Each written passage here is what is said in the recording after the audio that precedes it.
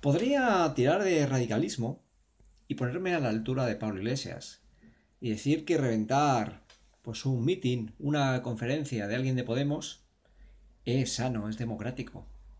Es saludable.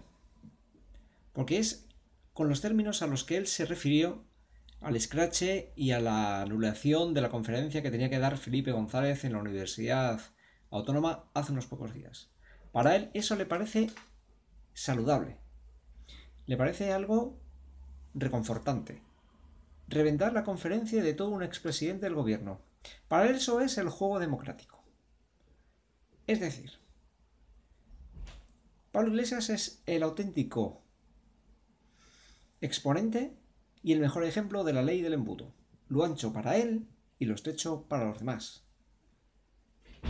Cada día Pablo Iglesias va enseñando la patita y va demostrando por qué los españoles deben votar cualquier opción antes que las de Podemos.